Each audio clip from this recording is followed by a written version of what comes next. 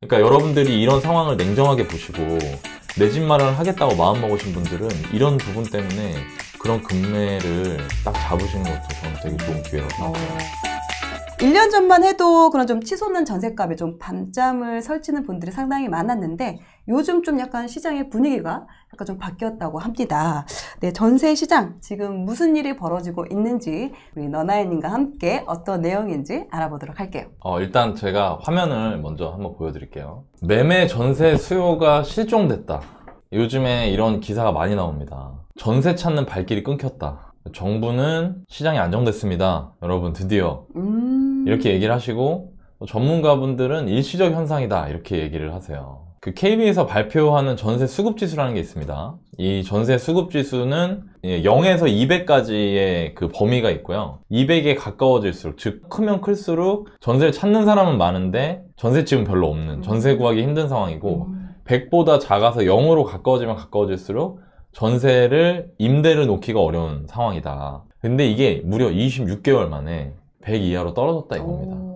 예. 여기 밑에는 이제 이 기자님께서 생각하시는 그 이유를 음, 인용을 해서 적어. 놓으셨고요. 뭐 전세 값이 워낙 높아서 매물 늘었지만 신규 계약은 거의 없다. 계절적 비수기 등 일시적 현상이다 라고 말씀을 하시는 전문가들도 있다. 뭐 이런 예, 내용입니다. 이거는 기사 원문을 한번 자세히 볼게요. 일단 팩트를 먼저 볼게요. 네. 서울 아파트 전월세 물건의 양이 한 달 전에 46,840건에서 최근 5만 1000건까지 증가했다 이렇게 나왔습니다. 매물 수가 늘어난 거죠. 9% 정도가 늘어난 겁니다. 음. 실제로 내 상황이 이렇다 보니 전세값이 상승하는 상승세가 크게 둔화되고 있다. 한국 부동산원 조사 자료에 따르면 9월 둘째 주에는 0.17%가 상승을 했었는데 지난주에는 0.1%로 줄었다 이겁니다. 음. 9월 자료를 또 쓰셨네요. 이제 상황은 이렇고 원인에 대해서 기사의 내용이 나와 있습니다. 제가 한번 읽어볼게요. 서울 아파트 평균 전세값이 2021년 올해 10월 기준 6억 3천만 원 정도 됩니다. 비싸긴 비싸다. 음. 근데 이게 1년 3개월 전, 그러니까 지난해 7월이죠. 지난해 7월에 우리 무슨 일 있었죠? 임대차 입법. 그렇죠. 음. 그때 대비해서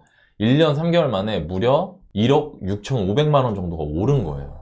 그리고 2년 전엔 대비해서는 1억 8,700만 원 조금 안 되게 오른 겁니다. 그러니까 이게 뭐냐? 가격이 많이 올랐다 이거예요. 전세 값이. 네, 네. 네. 음. 어, 전세자금 대출을 중단했다 풀었다 막 이렇게 했었죠. 네. 지난 이제 올해 한 가을 추석 이후 이때부터 전세 갑자기 이제 그뭐 전세 대출을 규제를 하겠다 해서 갑자기 총량 규제 얘기가 나오면서 전세 대출을 딱 묶었었죠. 음. 우리 저희가 그 시기에 구해줘 얼바에서도 이거 기사 다뤘었고요. 네네. 계약갱신 청구권을 사용하는 사람들도 있어서 이런 일이 생겼다 이겁니다. 음. 그래서 현상은 전세 매물이 늘고 전세값의 상승폭이 둔화됐다가 현상이고요. 그래서 요- 제가 위에다 이제 요약을 해놨죠. 네. 전세가가 급등한 거, 대출 규제가 생긴 거, 계약갱 청구권이 행사가 됐던 거. 이게 전세 수요 억제로 나타났다 이겁니다. 근데 저는 제 이건 제 생각인데 저는 동의할 수 없는 거는 계약갱 청구권입니다. 왜냐면 계약갱신 청구권이라는 거는 수요가 사라지면서 동시에 공급도 사라지게 만들기 때문에 그렇죠. 그 집이 전세집이잖아요. 음. 그러니까 전셋집이 나오는 것도 막는 거죠. 음. 그거는 뭐냐면 1대1 수요가 사라지는 거기 때문에 시장 전체 수요 억제는 아니에요. 음. 그래서 제가 보기에는 음. 지난 2년 새 무려 42%나 오른 전세가 거기에 대출 규제가 생기면서 수요 억제 현상이 생긴 겁니다. 그리고 이, 이걸로 인해서 벌어지는 현상이 또 있어요. 월세 계약이 늘어나고 있다는 겁니다. 거래량 통계가 나오는데 2021년 서울 아파트의 전세와 월세 전체 거래량이 합계는 16만 건 정도가 되는데 이 중에 월세 거래가 6만 건이에요. 이게 비율이 전체 36.5%고요. 이게 어느 정도지를 보려면 네. 임대차 입법이 나오기 전 6개월 반기 동안 월세 거래 비율은 28.7%였거든요. 음. 그러니까 8% 정도 월세 거래 비중이 늘어난 거죠. 그래서 정리를 하면 지난 2년 동안 42%나 오른 전세가가 가격 엄두가 안 나게 만든 거. 가격이 올라가서 대출이 더 필요해졌는데 대출 그쵸. 규제가 됐어. 음. 이런 상황 때문에 전세 찾는 사람들이 아예 전세를 포기하고 월세로 간 거예요. 이거 세 개가 전세 수요의 감소를 불러일으켰다 이 내용입니다. 네. 저는 기사 그대로 안 믿습니다. 직접 확인합니다. 음. 주간 KB 시세가 아니라 주간 월부 월부 시세. 시세. 따로 있는 줄 어, 알았네. 네, 만들었어. 이건 어떻게 만들었냐면요. 음. 여러분, 저는 실전 팔아서 일일이 전화했습니다. 어, 진짜 너무 수기적 수기적으로 하는 거 아닌가요? 대단하지 않나요? 어. 이, 이거만큼 정확한 게 없어요. 한 땀 한 땀 전화로 핸드메이드인데? 이거하고 저희 월부 특파원들이 있어요. 어. 네, 월부의 제 동료 투자자분들하고 같이 불이 나게 아이고, 최신 특파- 동향을 특파원들도 바빴네. 특파원들하고 같이 조사를 했습니다. 제가 네. 서울의 주요 지역을 세 개로 나눠서 소개를 해드릴 건데요. 음. 왜 그러냐면 어, 비싼 데부터 전월세가 움직이기 때문입니다. 그래서 이, 이 지역의 전세 전월세 동향을 보면은 어, 수도권 어떻게 퍼져나갈지가 보이거든요. 음. 네, 그걸 한번 보여드릴게요. 네. 2021년 12월 22일 기준, 음. 오늘 기준이죠. 네. 매매하고 전세를 다 음. 전화로 확인을 했습니다. 강남은 뭐 매매 물량은 늘지 않는데 거래가 안 된다. 어. 서초구도 매매는 매매 물건 별로 없다. 근데 거래 안 된다. 음. 송파구는 적지 않아요. 그러니까 거래하려고 하면은 그래도 좋은 물건들이 있는 거죠. 괜찮은 중간 로얄동, 로얄층 이런 게 있는 거예요. 성- 강남 서초는 그런 것도 별로 없어요. 아, 적지 않으면 좀 더 여유 있다. 어, 조금 더 여유 있는 거죠. 어. 네, 그런데 거래는 안 돼. 음. 용산도 11월부터 계속 거래가 안 된다. 그리고 여기 사장님들은 계절적 비수기에 종부세도 있고, 그리고 대선 같은 게 관망세에 영향을 주는 것 같다. 이렇게 음. 얘기하셨고, 음. 과천도 거래가 안 된대요, 아예. 전세는 어떠냐? 네. 강남은 한번 전월세가 싹 빠졌다가 다시 늘어났대요, 최근에. 그래서 대치동에 2억짜리 급전세 나오고, 수서에도 직전 거래가 대비 1억 이상 급전세가 나오는 거죠. 음. 빨리 들어오는 사람한테 싸게 드릴게요. 이런 전세가 나오는 거고요. 네. 서초구는 여기는 전세 물건 자체가 많진 않아요. 음. 근데 이전 호가대로 거래도 잘 안 돼요. 다만 물건이 굉장히 적다는 게 반포자이, 레미안 퍼스티지, 아크로이 파크 이런 데 단지 세대수 되게 크거든요. 그런데도 단지 전체의 전세가 부평 기준으로 네다섯 개밖에 없는 거예요. 음. 송파구도 비슷하게 전월세 많진 않은데 여기도 손님이 뜸해. 그래서 여기 사장님들은 어, 전세 지금 네이버에 나온 가격으로는 잘 안 나갑니다 라고 얘기를 하시고요. 음. 용산도 여긴 국지적으로 이촌동은 거래가 좀 된대요. 나머진 잘 안 된다. 네이버 나온 거 못 받는다, 전세금. 음. 과천 같은 경우에도 전세 물량 되게 많다. 13억 전세 최고가 찍은 게 11억 정도 나오고 있고 이것도 좀 몇 천 내려야지 될 것 같다. 어. 그리고 평촌에도 전세 물건이 많다. 서울 수도권의 제일 비싼 다섯 개 지역이거든요, 여기가. 매매 물량은 적은데 매매 거래는 잘 안 되고 음. 전세는 물건이 많진 않은데 그래도 여기서 전세 거래가 잘 안 돼서 시세보다 싸게 해야 나갈 겁니다. 라고 하고 있는 겁니다. 네. 자, 다음. 성동구, 양천구, 광진구, 마포구, 강동구. 어, 성동구 같은 경우에도 거래 잘 안 됩니다.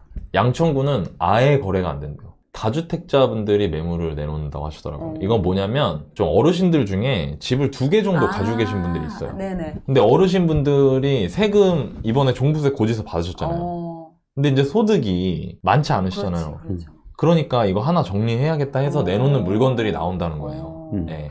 그래서 기존 호가 대비 최소 5천만 원에서 1억 정도 낮춘 매물들이 있고요. 광진구는 3개월 전과 비교했을 때 매매 물량 조금 늘어났는데 그냥 보합을 유지하고 있고 뭐 거래가 안 된다. 마포도 거래 안 된다. 강동구는 내가 이사 갈아타려고 하는데 어, 내가 집을 먼저 사놓은 거야. 그 사놨는데 이 집 팔려고 했는데 이 집이 안. 팔리니까 이제 막 1억씩 내리고 있는 거죠. 그렇죠? 왜냐면 상과 잔금 치러야 되니까. 그렇죠, 그렇죠. 음. 예. 그리고 이런 것들 대부분 세금이나 이런 사연들이 있는 게 많다. 지금 나와 있는 매물이 정상 거래권은 별로 없다. 전세도 비슷해요. 여기도 물량이 조금씩 조금씩 쌓이거나 뭐, 뭐 조금씩 늘어나는 건 있지만 되게 많이 늘어나는 데는 없고요. 그렇다고 또 거래가 잘 되는 것도 없어요. 음. 근데 여기서 하나 특이한 점이 고덕 여기는 전세랑 매물이 모두 많이 있다. 이렇게 되어 있어요. 신축 대단지가 전세가 많고 전세가 많이 쌓여 있고 오히려 그 지역에서 중저가에 해당되는 아파트에 전월세가 별로 없는 겁니다. 음. 자 마지막입니다. 분당은 매매 거래 잘 안 돼요. 여기도 어. 그리고 동작구도 그러니까 매물이 없는 상태에서 거래가 안 돼요. 그러니까 가격이 쉽게 낮아지진 않는 거죠. 영등포도 비슷한 상황이고요. 서대문, 동대문도 거래가 잘 안 된다. 음. 근데 여기도 비슷한 사례가 있죠. 1주택 갈아타기 수요가 자기 사놓고 물건 내놨는데 안 팔리니까 어. 가격이 급매로 변하는 것들이 아, 있다. 네네. 좀 요런 거예요. 음. 전세 같은 경우에는 분당이 유일하게 사장님들이 전세 놓으면 바로 나갈 수 있습니다라고 말을 하고 있습니다. 음. 네, 여기가 전세로 신고가 받으려고 하는 거 아니죠? 수리 어느 정도 됐나요? 아, 그러면 적당하게 나, 나갈 수 있습니다. 너무 걱정 안 하셔도 돼요. 라고 하는 상황이에요. 분당이. 어. 그리고 나머지 지역은 이제 전세 거래 잘 안 돼서 네이버 나온 것보다는 싸게 나, 놔야 된다. 이런 얘기를 하셨습니다. 음. 정리를 한번 해볼게요. 네네. 자, 서울, 경기 주요 지역의 매매는 현상은 거래 안 된다. 또 파는 사람들이 오히려 조금 급해지고 있는 상황이다. 음. 다만 매물수가 많지 않다. 왜 그러냐면요. 지금 나오는 매물이 대부분 아까 제가 말했죠. 종부세 고지서 네네, 받으신 분들 네. 갈아타려고 물건 사놨는데 안 팔려서 싸게 가격 내리는 거. 네. 그 외에 막 되게 특수한 상황들, 요런 것만 매물이 나오니까 매물수가 적은 거예요, 지금. 어. 전세는 매매처럼 절벽 수준은 아니지만 전반적으로는 거래가 잘 안 됩니다. 입니다. 그리고 이게 지역에 따라 단지에 따라 편차가 있는 거예요. 어, 신축이랑 고가 전세 위주로 거래가 더 안 됩니다. 음. 이게 약간 다른 거죠. 뭐냐면 여러분 이거는 현장에 전화하지 않으면 알 수가 없어요. 이런 거는. 제가 느끼기에 이런 거예요. 신축이 비쌀까요? 아니면은 그냥 일반 구축 아파트가 전세가 비쌀까요? 신축이요. 그쵸? 음. 신축 아파트 전세가 비싼데 규제를 막아버리니까 전세값이 신축 아파트는 어느 정도냐면요. 한 8억 하던 게 12억까지 올라갔어요. 어, 한 1년 반 사이에. 그러니까 이게 그 아파트 수요자들이 엄두가 안 나는 거예요. 이제 음. 완전히. 그러니까 더 거래가 안 되는 거지. 이런 경우에 개- 계약갱 청구권이 남아있는 분들은 계약갱 청구권을 쓰고요. 음. 그것도 이 집주인도 지금 전세 안 나간다고 하니까 그냥 하는 거예요. 그냥. 근데 불가피할 경우에 어떻게 되냐면 반전세 늘어날 거라고 했잖아요. 월세로 전환이 되는 거예요. 이게 불가피한 경우에 애가 학교 다니고 있거나 이런 그렇지. 경우에 이사할 수 없는 상황. 그렇죠. 그러니까 이 이유는 전세 대출 규제가 있고요. 이- 또 이게 있습니다, 여러분. 전세 대출 금리가 올랐어요. 전세 대출이 나온다고 하더라도 차라리 월세가 낫겠다고 생각하는 사람들이 상당히 많이 늘어나고 있다는 거예요. 음. 지금. 음. 월세랑 따져보니까, 어? 월세는 예를 들어서 뭐 5억에 90인데, 내가 이 동네 전세 시세가 8억이야. 3억 전세 대출 냈는데 한 달에 내야 되는 이자가 100만 원인 거야. 그러면 5억에 월세가. 100이 돼버리잖아요. 그렇죠, 그렇죠. 그럼 월세가 더 싸지. 그 월세가 더 난 거죠. 음. 그러니까, 에이, 그 전세 안 해. 하고 월세를 하려고 하는 사람들이 늘어나고 음. 있다는 겁니다. 대출이 막힌 상태에서 고가 전세 수용 가능한 가정이 급감하고, 그럼에도 불구하고 거주해야 하는 곳은 좀 전에 말씀드린 그런 사정도 있고, 어차피 전세 내가 못 가니까 월세로 넘어가고 있다 이겁니다. 음. 제가 이 얘기 왜 하냐? 음. 이 내용을 잘 알아야 된다는 거예요. 자, 그럼 지금 상황은 이렇고, 앞으로 어떻게 될까? 여러분들 궁금하실 거 아니에요? 네네. 앞으로. 그렇죠. 앞으로 궁금하죠. 그렇죠. 요 그래프는 저희가 지난번이었나? 그 기관에서 맞아요. 내년 뭐 부동산 전망 네. 해가지고 나왔던 자료로 소개해드릴 때 보여드렸던 2014년부터 2021년 현재까지 전세가의 추이를 보여주는 그래프입니다. 음. 그래프가 3개가 있는데요. 요 맨 위에 초록색이 수도권의 전세 실거래가 지수예요. 실거래가 지수라서 더 이제 신뢰할 수 있죠. 음. 빨간색은 5대 광역시의 전세 실거래가 지수. 이 파란색은 광역시를 제외한 나머지 지방의 전세 실거래 지수입니다. 자, 이걸 보려고 하는 이유가 앞으로 전세 시장이 어떻게 될까가 궁금하시면 이전에 어떤 변화와 패턴을 가지고 움직였는지를 보시면 됩니다. 과거의 시장을 네. 한번 복귀해 볼 왜냐하면. 전세 시장은 전혀 새로울 게 없는 시장이거든요. 이 매매 시장이랑 달라요. 매매 시장은 그때그때 심리적 부분이 영향을 주는데 전세는 그런 게 없어요. 내가 필요하면 들어가 사는 거거든요. 그러니까 수요 공급에 의해서 움직이는 시장이기 때문에 과거의 공급과 수요가 어땠는지를 보면은 미래를 어느 정도 예측을 할 수가 있어요. 볼 수가 있어요. 서울 수도권 위주로 보겠습니다. 여기 빨간색으로 이렇게 음영 표시를 했거든요. 여기 보면 초록색 그래프가 팍 올라가고 있죠. 이때 전세가 많이 올랐던 거예요. 오. 그죠? 이게 2014년 하반기부터 2016년 하반기까지입니다. 이 시기가 원조 전세 대란 시기입니다. 전 전세 실수로 있었기 때문에 음. 제가 전세를 결혼하는 것보다 두 달 먼저 구했어요. 전세가 없어서. 그 정도로 전세가 없었기 때문에. 전세 급등기. 그런데 그 이후로 전세 안정기가 찾아옵니다. 2017년부터 2019년 상반기까지. 음. 그래프가 확실히 그냥 뭐 오르락 내리락 하는 것 같지만 장기적으로 보면 거의 그, 막 그. 수준이죠? 음, 그쵸? 음. 이게 바로 전세 안정기라는 겁니다. 그럼 이 시기가 제가 아까 수요 공급에 의해서 움직인다고 했잖아요. 전세는 네. 그래서 이 밑에 제가 부동산 지인에서 서울, 경기, 인천에 2014년부터 입주 물량 데이터를 가지고 왔어요. 음. 14, 15, 16년도가 이 시기입니다. 17, 18, 19년도가 이 시기예요. 보시면 급등기에는 확연하게 입주가 적죠. 안정기에는 확연하게 입주가 많죠. 많고 또 이제 이, 이거 시기로 따졌을 때 3년 3년이거든요. 3년 동안 2014년부터 16년까지 아파트 42만 호가 들어왔어요. 네. 서울 수도권에. 그리고 17년부터 19년까지 72만 호가 들어왔습니다. 그러니까 이렇게 된 거죠. 오. 그럼 앞으로는 어떨까? 이겁니다. 41만 호. 음. 오, 오히려 급등기 때의 공급량보다 더 적네요. 그럼 뭐냐면요. 본질적으로 새롭게 공급이 될 수 있는 입주 물량이 예전의 전세 급등기 수준에 음. 불과하다는 거예요.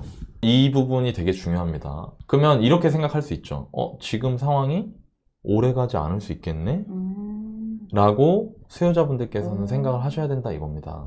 사실 이런 내용은 일반적으로 공부를 조금 하신 분들이면 어느 정도 아실 수 있어요. 근데 제가 아까 월세하고 같이 하셔야 된다고 했잖아요. 네. 네. 제가 그 내용을 좀 말씀을 드릴게요. 네. 이것까지 아셔야 퍼즐이 맞춰지거든요. 음. KB에서 통계를 내는데 아파트 월세 지수라는 걸 냅니다. 어, 이게 제가 최근 데이터를 가지고 온 거예요. 2019년 1월부터의 데이터입니다. 서울을 기준으로 보면 100이 아까 제가 말한 게 100이 월세 물건이랑 월세 찾는 사람이 거의 비슷한 상황. 음. 그러니까 안정된 상황이죠. 오히려 2019년 하반기로 갈 때는 100 밑으로 떨어졌어요. 오. 이 얘기는 뭐냐면 월세 찾는 사람 별로 없다는 얘기입니다. 그런데 이게 야금야금 올라가죠. 그래서 2020년 12월에는 103.7까지 올라가요. 음. 보면 아, 계속 오르네요. 계속 오르죠. 음. 이게 2021년입니다. 2021년 1월부터 11월까지는 108.6까지 올라왔어요. 무슨 얘기냐면 월세 지수가 급등하고 있다. 지금 저 108.6이라는 월세 지수는 KB에서 KB 아파트 월세 지수를 집계한 이래 사상 최고치입니다. 전세 시장이 갑자기 전세 매물이 늘고 막 이렇게 되는 건 이유는 여러 가지일 수 있어요. 근데 진짜 중요한 건 내가 어떤 선택을 하는지잖아요. 그렇죠. 전세 수요가 싹 사라지고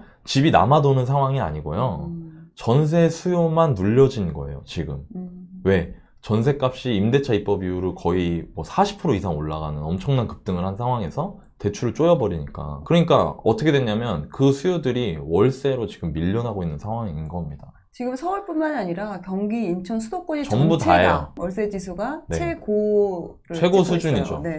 그러니까 무슨 얘기냐면 이런 거예요. 여러분, 전세가 계속 쌓여야 되거든요. 여러분들이 임대인이라고 생각을 해보세요. 음, 음. 여러분들이 전세를 놨는데 전세 안 나가요. 안 나가. 근데 월세를 딱 봤더니 1년 전 대비 거의 50%씩 올랐어, 월세가. 오. 보증금 그대로 납득면. 오. 그럼 어떻게 할까요?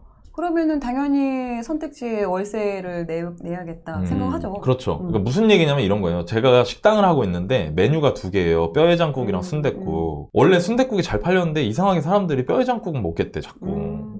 음. 그럼 순댓국을 계속 만들까요? 아무래도 뼈해장국이 좀 더 뼈해장국으로 몰지 않, 내가 더 팔려고 음, 하지 않을까요? 그렇지, 줄이 서 있으니까 그렇지. 여기는 막 텅텅 비어서 팔이 아. 날리는데 임대 시장이라는 건 전세 월세가 같이 있는데 전세가 쌓인다고 해서 어 이제 집이 남아돈다가 아니라 이 사람들이 어떠한 이유로 전세를 선택할 수 없는 상황이 됐고 그렇지만 집이 필요하니까 음. 내가 그거보다는 마음에 안 드는데 월세로 옮겨가면서 월세가 불이 붙은 거예요, 지금. 어. 이거는 꾸준한 임대시장 안정화가 달성됐다고 보기 어렵다는 거예요, 지금.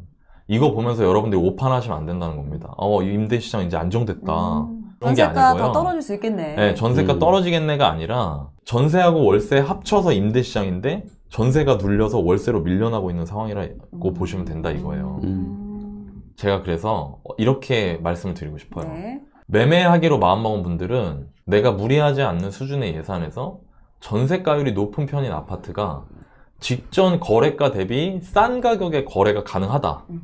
그러면 여러분 지금이 기회입니다. 금매가 나온다. 네. 음. 아파트 값이 떨어지고 오르는 건 모르지만 전월세 시장은 알 수 있다 했잖아요. 어, 전세 시장 떨어지는데요, 노나이님? 음. 그렇죠. 전세가가 떨어지는 이유는 전세를 갈 수 있는 사람들이 되게 제한됐기 때문이에요. 10억 넘는 전세, 8억, 9억짜리 전세가. 근데 월세는 지금 미어 터지고 있다는 겁니다. 그러면 대출 규제라든가 이런 게 풀리는 상황이 되면 동시에 월세보다 전세가 유리한 상황이 유지가 된다고 하면 그럼 다시 어떻게 되냐? 전세로 사람들이 몰려가는 그렇죠, 거예요. 그렇죠. 근데 그렇게 될 수 있는 게 월세가 올라버렸기 때문에 전세 대출이 월세보다 또 싸질 겁니다. 아마. 음. 그러니까 여러분들이 이런 상황을 냉정하게 보시고 내 집 마련을 하겠다고 마음먹으신 분들은 이런 부분 때문에 시장이 냉각되면서 금매들이 나오거든요. 지금 아까 제가 매매 상황도 보여드렸죠. 음. 그런 금매를 딱 잡으시는 것도 저는 되게 좋은 기회라고 생각해요. 어, 예. 그 임대 시장을 볼 때 전세 지수는 좀 보는 편이거든요. 네, 근데 월세 그렇죠. 지수까지는 잘 확인을 안 하는데 네. 아, 또 너나님께서도 월세 지수까지 같이 설명을 해주시니까 음, 아 지금 음. 오히려 이, 지금 현재 임대 시장을 좀 더 정확하게 음. 판단할 수 있는 지금. 어떤 신문 기사나 이런 데도 월세 시장에 대한 얘기를 잘 안 해요. 맞아요. 그러니까 전세 쌓인다 이러면 벌써 사람들이 그게 되게 심리적으로 팍 동요를 일으키는 그렇지. 단어니까 음. 동요가 되잖아요. 음. 근데 진짜 월세 오르는 거 보면 진짜 깜짝깜짝 놀랄 음. 정도로 많이 오르고 있어요. 어, 어. 실제적으로 내가 살고 있는 그 지역이 궁금하다. 네. 그러면은 월세 부동산의 필요가 월세를 좀 확인해 보는 그렇죠. 필요가 있겠네요. 그렇죠. 그러니까 이제 이걸 따지는 거예요, 사람들이. 음. 사람들은 바보가 아니에요. 맞아요. 최대한 어. 나한테 이익이 되는 방향으로 움직이거든요. 그렇죠. 음. 전세가 우리 집이 원래 뭐 5억이었는데 지금 8억이 됐어. 근데 3억이 대출이 나온대요. 대출 나가서 딱 가서 봤더니 전세 대출 금리 얼마예요? 그러니까 막 3% 후반 이렇게 얘기하는 거야. 그러면 3억에 4, 4%라고 치면 1년에 이자만 1200이라고요. 아, 그거 한 달에 100만 원이잖아요. 와, 근데 우리 동네 나와 있는 월세가 5억에 90, 80이래. 그러니까 전세 안 하는 거야. 그렇지, 음. 그렇지. 네. 혹시 너바나님 뭐 첨언하실 의견이 있으실까요? 뭐 그냥 짧게 말씀드리면 지금은 되게 일시적인 거예요. 네. 전세는. 전세가 지금 아, 쌓인 거는 게. 일시적인 음. 거고 내년 내후년 되면은 음. 아마 전세 가격이 오를 확률이 상당히 높습니다. 네. 그렇게 판단하시고 의사결정하시는 게 좋고 월세 같은 경우는 나임이 잘 얘기해 주셨는데 말을 못하겠다. 너무 고생했는데 내가 아니야, 말씀하세요. 아, 그 내가 생각하는 월세 아니 월세 같은 경우는 지금 전세 대, 대출 때문에 그래요. 대출 네, 규제 맞아요. 때문에 네. 전세가 이제 고액 대출을 안 해주고 지금 뭐 원래 본인신권도 뭐 얼마 이상 안 끊어준다 이렇게 그런 얘기가 있다 보니까 고액 전세 대출이 좀 잘 안 나가고 음. 그 전에는 대부분 다 뭐 내 9억 10억 10억짜리 전세를 구한다고 하면은 9억 10억을 다 갖고 있는 사람 별로 없잖아요. 네. 그렇죠. 대부분 다 전세 대출. 통해서 하는 음. 건데 근데 그거를 자체를 이제 조금 막아놓으니까 네. 월세로 가지 않았나 싶고 아까 코크님이 이제 지방 같은 거 물어보셨잖아요. 네네. 지방에 네. 대해서 이렇게 궁금하니까 하냐. 지방 네. 시장도 궁금하네요. KB 같은 경우가 사실은 중개사분들한테 전화해서 물어보는 거예요. 음. 그, 네. 그 지수가. 네네. 그러니까 그거 확인하시면은 음. 이제 흐름이 어떤지를 알 수 있는 거고 지금은 아마 정부가 지금 계속해서 대선이 있기 때문에 여러 가지로 그 전까지 대출을 계속 묶어두지 않을까라고 네. 생각이 들고 근데 이제 좀 그런 부분 때문에 좀 안타까운 게 좀 임대 부분에서 조금 이제 여러 가지로 더 외곽으로 가야 되거나 월세로 가야 되는 사람이 그러니까요. 있으니까 사실은 아까도 전세에 대해서 그 얘기 하시더라고요 전세가 소멸한다 근데 막 예를 들어 코코님 본인이 음. 전세 월세 둘 다 택할 수 있어요 음. 돈이 있어 음. 그럼 전세 택할래요? 월세 할래요? 당연히 전세를 어, 하겠죠. 그러니까, 그러니까 사실은 수요가 있는 시장은 음. 없어지기 되게 그렇죠. 어려워요. 그 얘기가 예전에도 이제 아까 있었어요? 라인님 얘기했던 네. 2015년도, 14년 그때도 박근혜 대통령도 없어질 거라 얘기를 했었고 취임 이후에 많은 전문가들이 이렇게 얘기했어요. 근데 네. 저는 음. 절대 말도 안 되는 음. 얘기 생각했어요. 왜냐하면 그때 또 전세가 미친 듯이 올라갔거든요. 그러고 나서도. 오히려. 예, 왜냐하면 사람들은 대부분 다 월세에 대해서 좀 약간 부정적 인식이 강해요. 강하죠. 너 월세 사니? 음. 내는 사골세 그런 느낌이 있어 어, 맞아, 옛날에 맞아. 어 코크님 왜 이렇게 왜 이렇게 공감해 살아봐서. 이게 이게 시대가 어, 예전에는 사실 뭐 그거에 대해서 단칸방. 어 그러니까 그러니까, 네. 그러니까 요새는 또 그렇지는 않는데 요새는 반전세 이런 개념이긴 한데 아무래도 제가 볼 때는 지금 일시적이다 생각을 하고 아까 입주물량이 반토막 나기 때문에 아마 내년 내후년에는 조금 이제 어렵지 않을까 음. 그리고 그나마 이게 이게 장점인지 모르겠는데 아까 나님 얘기했던 2년 동안 이제 엄청 많이 올랐잖아요 몇십 네, 프로 네, 올랐잖아요 아, 맞아요. 네, 그러니까 미리 그거- 땡겨 오른 그러니까 거예요. 너무 네, 네. 많이 오른 부분이 있어서 네. 그걸로 인해 가지고 좀 이제 조금 안정되거나 근데 내, 내 2년 정도 뒤에는 애매하지 않을까 네. 네, 또 생각이 들어요. 지금은 약간 시기적으로 또 원래 이 시기가 전세가 잘 안 나가는 시기예요 원래. 음. 예, 또 1월, 2월 되면 또 풀리는 시기고 그래서 좀 약간 지켜봐야 될 것 같아요. 그냥 2월 정도에. 그리고 대선 끝나고 나서 또 음. 지켜보면 또 되지 않을까라고 생각이 들고 근데 이게 아까 나님이 얘기했지만 수요를 눌러놓은 거기 때문에 네. 이 2년 동안 그렇게 할 수 있지는 쉽지 않을, 쉽지는 않을 것 같다라고 생각이 들어요. 네. 네, 지방 같은 경우는 KB, KB 리본에 보면 그 통계에 그각 음. 지역별로 월세 매매지수, 시세가 전세지수. 어, 월세 음. 시세가 나오니까요. 음, 음. 그거 확인해 보시면 될 것 같고요. 네, 지금 너나이님께서 각 지역의 특파원까지 부탁을 해서 아, 네, 힘 고생했어? 너바나님 또 지켜보시면서 되게 뿌듯하게 또 음. 너나이님을 또 응시하는 모습이 참 사제지간에 아름다웠습니다. 나는 진짜 진심을 담아서 만들었어. 음, 왜냐면. 월세를 말하는 음. 사람이 없어, 지금. 음. 너나이님이 남들이 그 알려줄 수 있는 내용을 알려주면 너나이님이 아니죠. 음. 항상 그 남들보다 그 업그레이드된 한 차원 높은 그런 정보를 어, 주시는 또 우리 너나이님 아니겠습니까? 너만 저도 이렇게 털기만 하면 안 돼요, 이렇게. 저 칭찬 잘할 수 있는데. 아니, 그러니까 진짜 근데 그 준비하는 거 자체가 요- 음. 저희 채널 네. 아니면 사실은 맞아요. 보기 그렇죠. 어렵죠. 네. 네. 여러분 다음번에 또 더 고퀄리티의 또 뉴스일수록 찾아뵙겠습니다. 네.